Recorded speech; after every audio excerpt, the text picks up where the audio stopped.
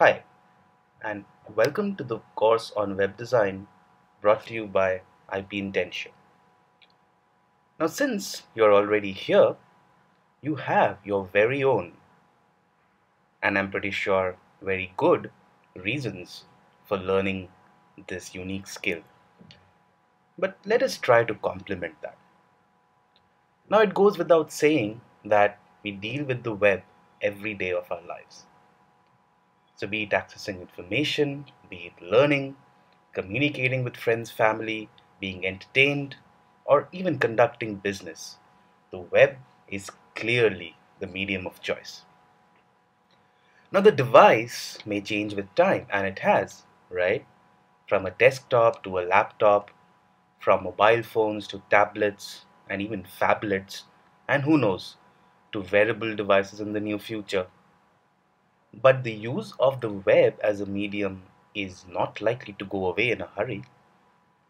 Therefore, irrespective of your choice of career or objectives, a working knowledge of the underlying technology and art relating to websites and web pages is a skill that is very likely to provide you with that bit of extra edge, right?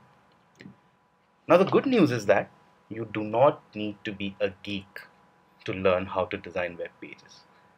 All you need is a will, right? And this course is designed to equip you with the working knowledge of how web pages are created from scratch. By the end of the course, you will be able to 1. Design web pages on your own. 2 use the knowledge and skills that you will acquire here to lead and manage development teams. And three, which is as important, if not more than reasons one and two, is judge whether a web page or a website meets its desired objectives. So let's look at what part one of this course covers. We shall start with the module called My First Web Page. This is a fun module, right? And all you're going to do here is start designing your web page right away, right? So we'll off, we'll present you with templates. You edit those templates, and you know just pub, just you know run it and see what your web page looks like.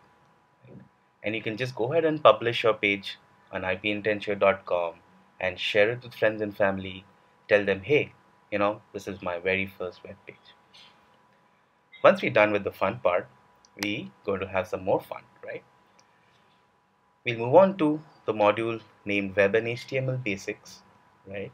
Where first we shall cover the basics of the internet.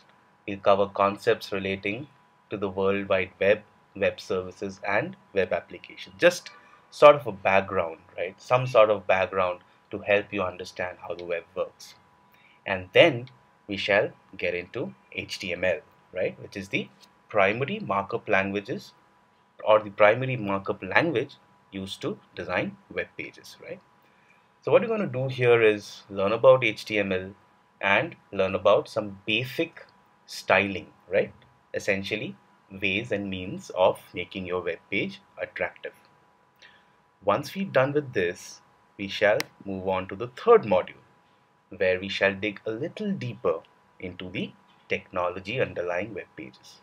So we le learn about how you can lay out your web page. We learn about inserting links, images. We learn about presenting data as tables, right? And we shall learn more about styling.